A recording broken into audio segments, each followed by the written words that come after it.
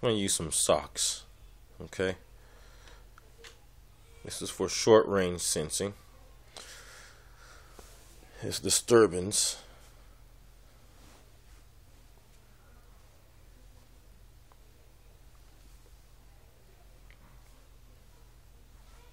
It's really real simple. Come in the range, you're going to disturb an electromagnetic field.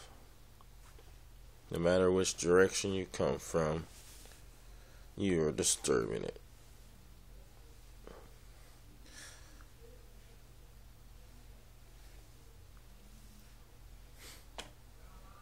So, it's real simple. There you go.